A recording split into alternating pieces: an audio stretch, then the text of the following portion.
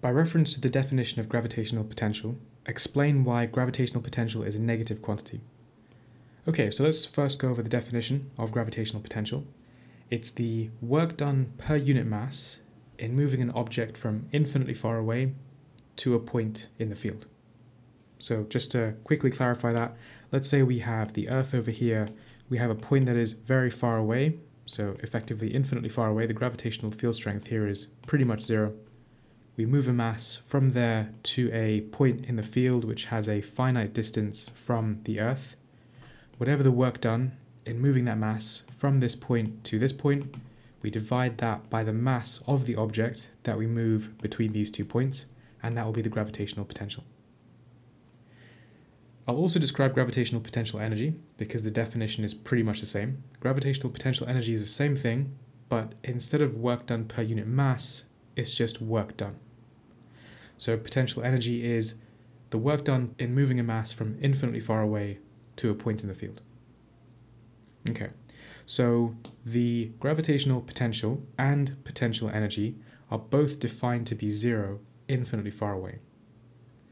That's important because so let's first think about dropping a mass on the surface of the Earth. If we drop a mass, what happens is we lose GPE and we gain kinetic energy. And the reason for that is because the gravitational force is attractive. That causes the GPE to decrease and us to gain kinetic energy as a result. Similarly, if you have a mass that is very far away from the surface of the Earth and you let it fall towards Earth, the same thing occurs. Gravitational potential energy will decrease and therefore kinetic energy will increase. If GPE decreases, if gravitational potential energy decreases, gravitational potential will also decrease because they're, they're the same thing pretty much, it's just gravitational potential is divided by mass.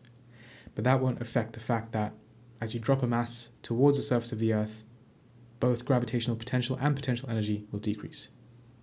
So going back to what I said earlier, potential and potential energy are defined to be zero infinitely far away. So if this attractive gravitational force causes work done that decreases gravitational potential energy, and therefore gravitational potential, and it's zero to begin with, infinitely far away, now it's decreasing as its mass gets towards the Earth, that will then mean that for finite distances, gravitational potential and potential energy are negative. So let's summarize that. So gravitational potential is zero, infinitely far away. This is by definition. The attractive gravitational force does work done on the mass. That causes the gravitational potential energy and therefore gravitational potential to decrease. And decreasing from zero means the gravitational potential is negative for finite distances.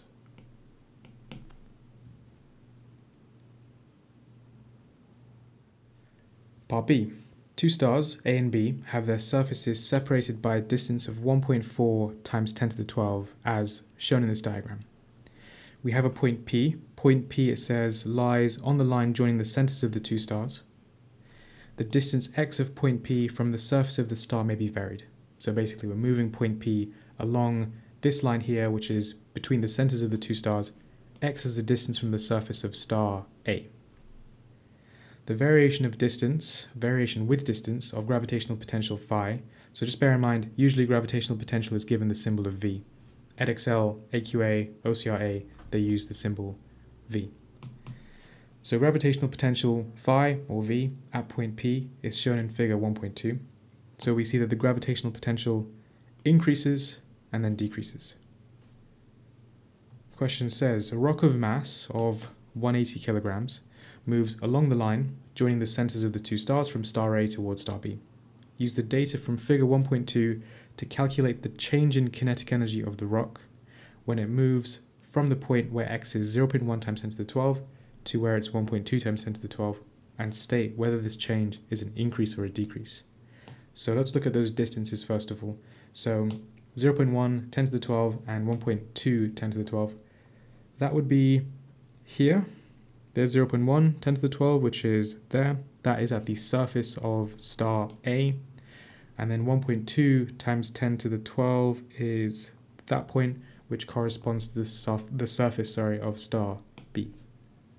Okay, so To work out the change in kinetic energy, we want to work out what the change in gravitational potential energy is. If the GPE increases, the kinetic energy will decrease by the same amount, and vice versa. If the GPE decreases, the kinetic energy will increase by the same amount. So how do we work out if there is an increase or a decrease in gravitational potential energy? Well, change in potential energy is equal to the mass of the object that moves between two points in the field, that mass multiplied by the change in potential between those two points. So looking at the diagram, we're going from this point to this point. If we work out the change in potential, we multiply that by the mass of 180, which is what we're given in the question, that will give us the change in potential energy.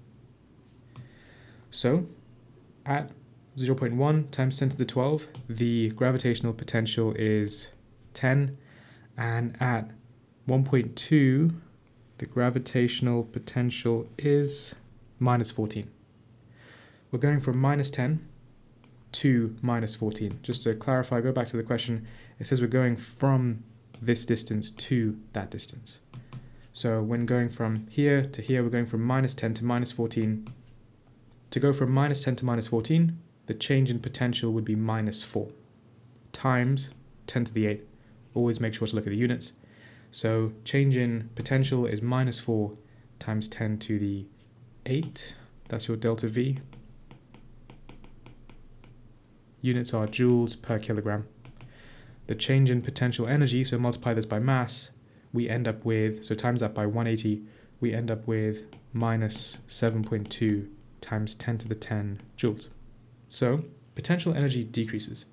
That means the kinetic energy will increase by the same amount. So there'll be an increase of 7.2 times 10 to the 10 joules. And just write down here that that will be an increase. And again, this is similar to if you were to, let's say, drop a mass from above the surface of the Earth towards the surface. As you drop that mass, potential energy will decrease, gravitational potential energy, and kinetic energy will increase. It's the same scenario here. And finally, part 3.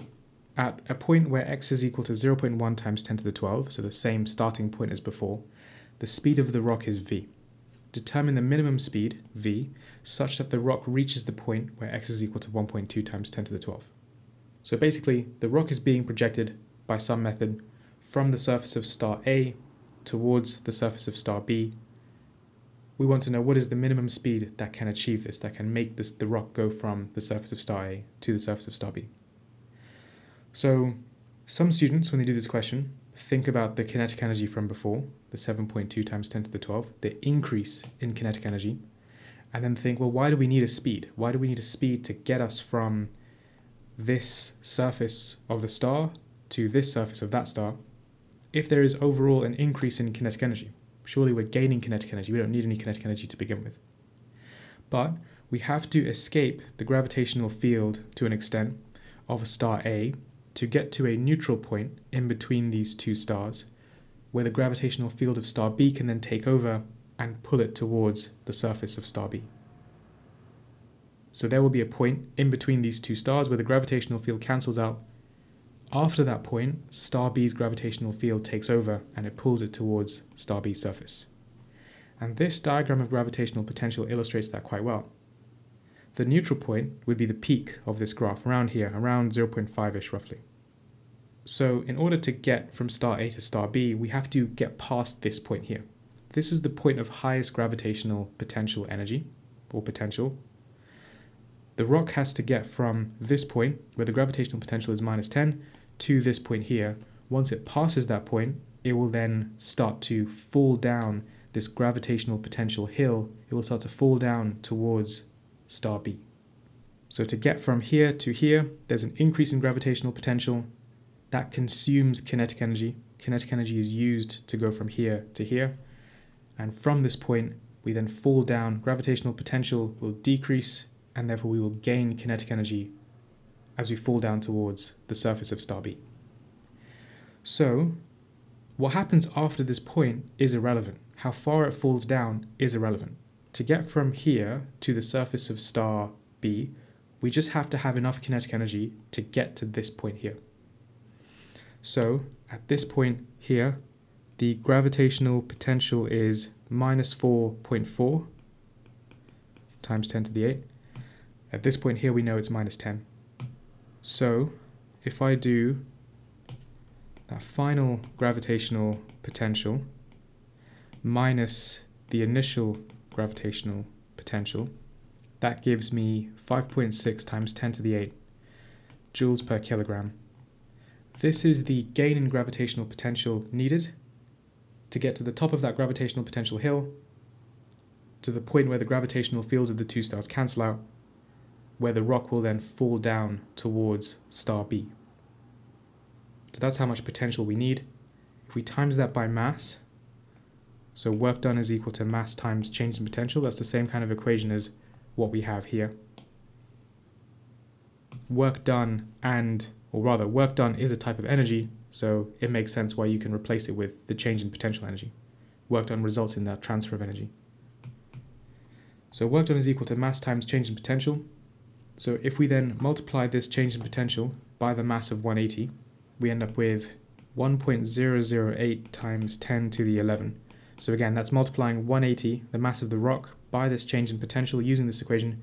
That gives us the work done required to get to that neutral point, to the top of this gravitational potential hill. That's the kinetic energy we need to get us from star A to star B. And so we can then equate this to half mv squared, where half mv squared is half times 180 times v squared. So then these two things are equal. Divide this number here by the half times 180, and that gives us 1.12 times 10 to the 9. If we then square root this, we end up with 3.3 times 10 to the 4 meters per second, and that will be our final answer.